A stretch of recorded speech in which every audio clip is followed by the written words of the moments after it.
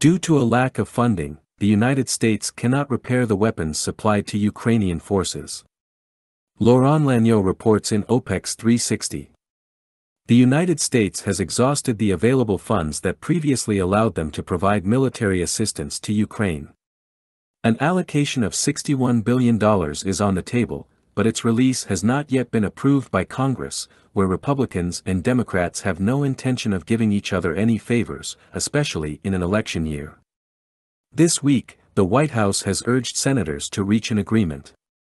At the moment, the United States cannot deliver the ammunition and weapon systems that Ukraine needs. What's worse, Laurent Lagneau underlines, is that they are also unable to maintain the operational condition of the numerous pieces of equipment already supplied, such as the M142 HIMARS, the Patriot air defense systems, the Bradley fighting vehicles, and the M1A1 Abrams tanks. The Pentagon is currently unable to provide the necessary spare parts or even assist Ukrainian personnel assigned to maintenance. The persistent lack of funding has forced us to suspend withdrawals from our stocks, given the implications for our own military readiness.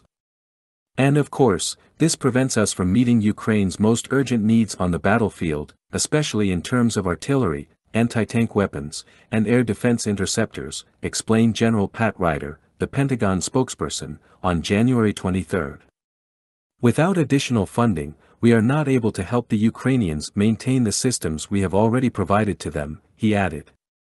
This problem adds to the recent issue raised by a German parliamentarian regarding the operational readiness of the Leopard 2 tanks delivered to Kiev due to a lack of available spare parts, Laurent Lagneau adds.